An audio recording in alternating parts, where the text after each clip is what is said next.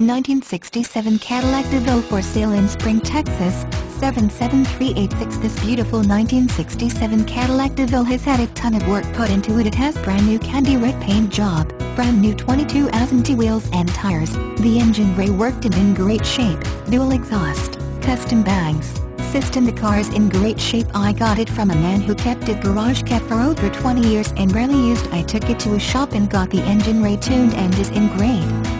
Shape original color was white but had painted candy red blowout price at only $25 K delivered, leaving country and has to go now.